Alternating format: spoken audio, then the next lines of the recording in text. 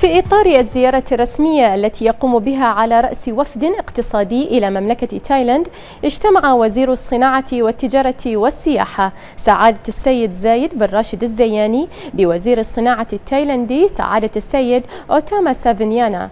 وخلال الاجتماع بحث الوزيران واقع العلاقات الثنائية والسبل الكفيلة بتطويرها ورفع معدلات التعاون والعمل المشترك بينهما بما يصب في صالح اقتصاد البلدين الصديقين.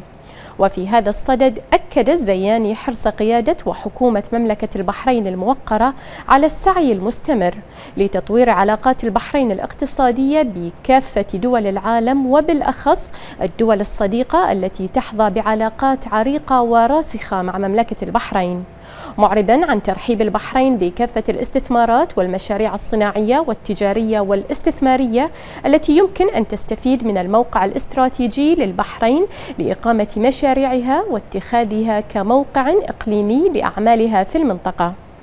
إضافة إلى اتخاذها كمركز للاستثمارات الصناعية التايلندية ومركز تجاري للتصدير إلى البلدان الأخرى بالإضافة إلى تبادل الخبرات والتجارب في مجال تنمية الصادرات حيث تعد تايلاند واحدة من أكبر الاقتصادات المصدرة.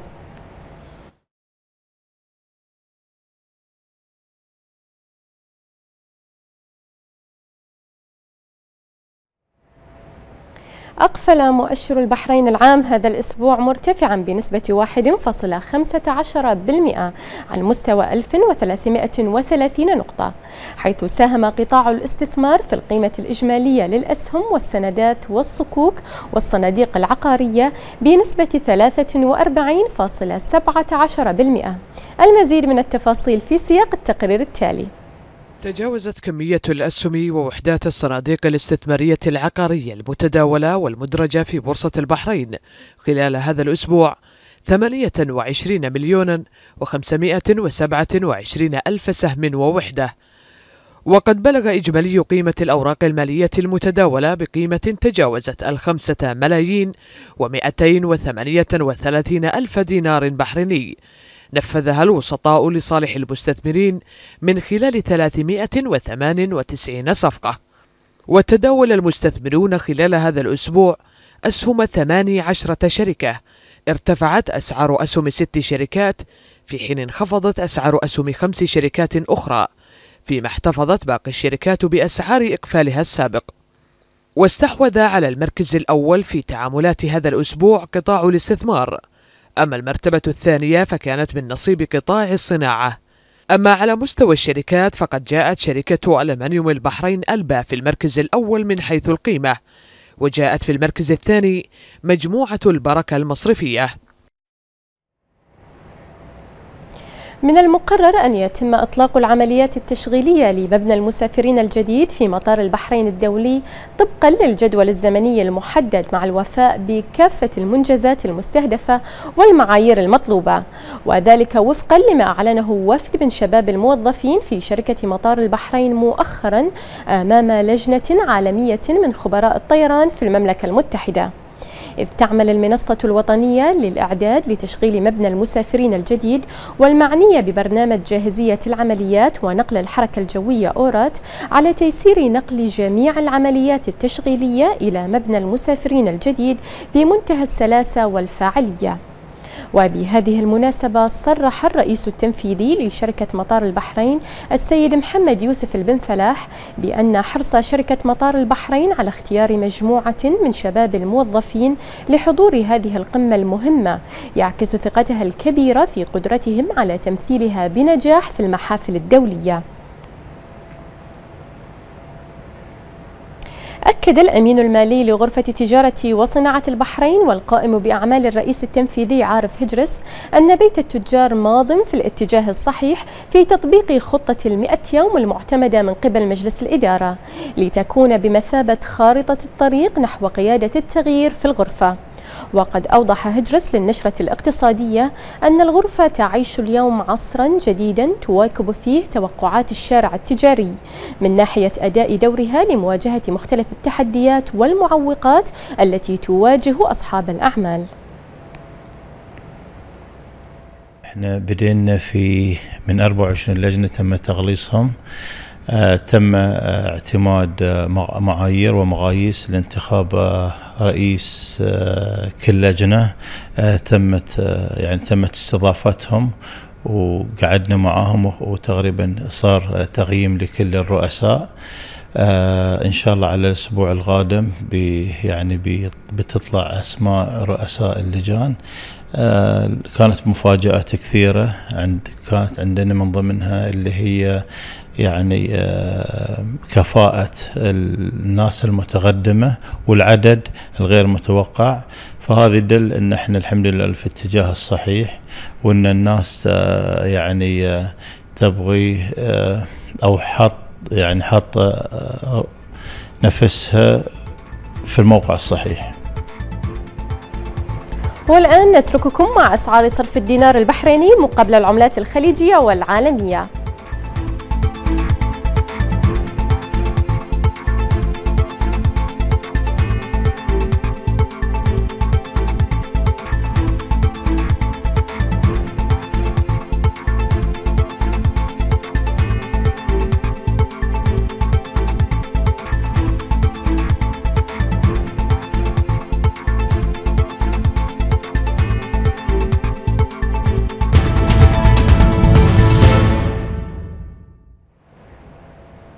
أعلن المدير العام ورئيس مجلس المديرين في هيئة الطرق والمواصلات مطر الطاير انتهاء أعمال الحفر الأساسية في نفق مشروع إكسبو دبي 2020 وقال الطاير أن أعمال حفر النفق في شهر أكتوبر الماضي من منطقة ديسكفري جاردن وصلت للمحطة النفقية في منطقة عقارات جميرة للجولف في فبراير الماضي.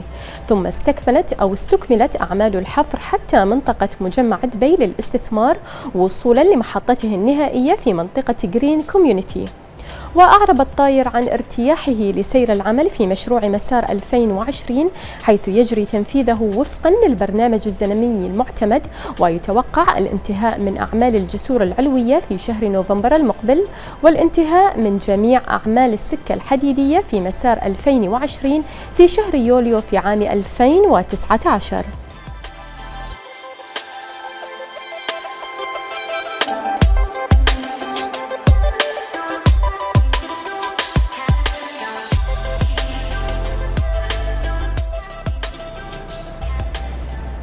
وإلى قطاع الطاقة حيث أكد وزير الطاقة الإماراتي سهيل المزروعي أن أوبك ستسعى للتقيد بمستويات الامتثال الإجمالية للمنظمة خلال الفترة المتبقية من عام 2018 وقال المزروعي أن منظمة أوبك ستعمل جاهدة على الالتزام بمستويات الامتثال الإجمالية للفترة المتبقية من إعلان التعاون. وأضاف المزروعي الذي يتولى رئاسة أوبك هذا العام أن اللجنة المشتركة بين منتجي أوبك والمستقلين ستراقب الالتزام الكلي. وشدد أن المشاركين في الاتفاق من أوبك وخارجها لن يتوانوا في التزامهم بالمساهمة في استقرار السوق مشددا على أن دولة الإمارات على استعداد للمساهمة في تخفيف أي نقص محتمل لإمدادات النفط. هذا وأعلن وزير الطاقة الكويتي بخيت الرشيدي أن بلاده رفعت مستوى إنتاج النفط بواقع 85 ألف برميل يوميا اعتبارا من هذا الشهر ليصل الإنتاج اليومي إلى مليونين وسبعمائة وخمسة وثمانين ألف برميل. وتأتي هذه الزيادة بعد الاتفاق المبرم بين الدول الأعضاء في أوبك ومنتجين مستقلين والذي يقضي بخفض نسبة الالتزام لاتفاق خفض الإنتاج من 150% إلى 100% ما يعني عمليا زيادة إنتاج النفط بنحو مليون برميل يوميا. هذا ويتوقع المحللون أن تظل أسعار النفط قوية خلال الفترة المتبقية من هذا العام.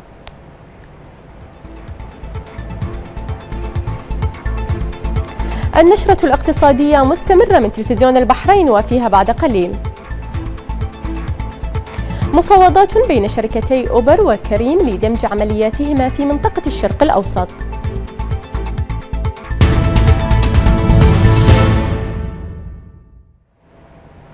من المنتظر أن تواجه نحو 160 شركة أوروبية عاملة في إيران عقوبات أمريكية قاسية في حال استمرار تعاونها في تنفيذ مشاريع استثمارية مختلفة في البلاد.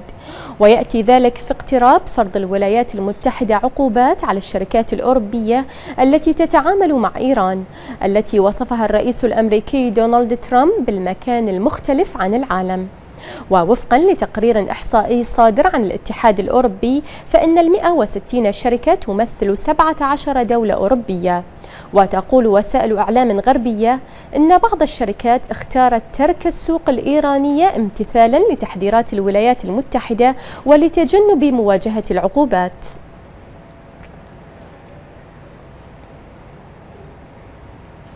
ذكرت وكالة بلومبرغ أن بريطانيا تدرس زيادة ضريبة وقود السيارات لأول مرة منذ ثماني سنوات بهدف المساعدة في تمويل النفقات المتزايدة على قطاع الرعاية الصحية. وأشارت الوكالة إلى أن وزراء الخزانة في بريطانيا قد ثبتوا الضريبة المفروضة على الوقود خلال السنوات الماضية على خلفية تباطؤ نمو الاقتصاد وارتفاع أسعار الوقود وارتفاع أسعار النفط وارتفاع نفقات المعيشة. وتصر رئيسة الوزراء تيريزا ماي على تخصيص الأموال التي كان يفترض أن تدفعها بريطانيا في ميزانية الاتحاد الأوروبي لو لم تخرج من الاتحاد. وتقدر هذه الأموال بحوالي 461 مليون دولار أسبوعيا لتمويل نظام الرعاية الصحية الذي يعاني من صعوبات مالية كبيرة. والآن نترككم مع أبرز مؤشرات الأسواق العالمية وأسعار النفط والمعادن الرئيسية.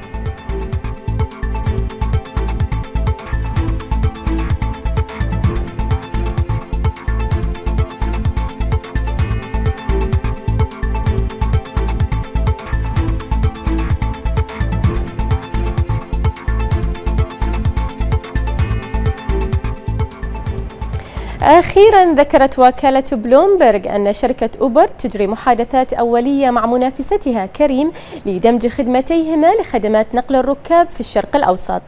وأوردت بلومبرغ نقلا عن ثلاثة أشخاص مطلعين على المحادثات أن الشركتين بحثتا عدة أطر محتملة للاتفاق. يدير بمقتضى أحدها رؤساء كريم الحاليون النشاط المدمج الجديد. بينما يبقي على إحدى أو كلتا العلامتين التجاريتين المحليتين للشركتين بجانب مقترح آخر تحوز أوبر بموجبه على تطبيق خدمات نقل الركاب في الشرق الأوسط.